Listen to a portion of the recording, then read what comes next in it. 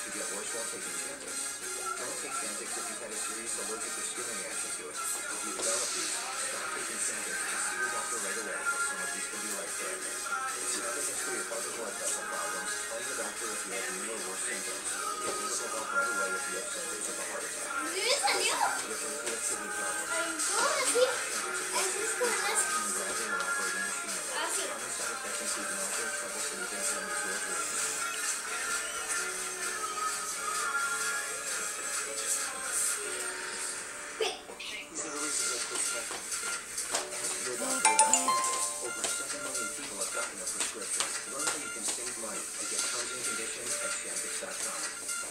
typical American family works a typical eight-hour day.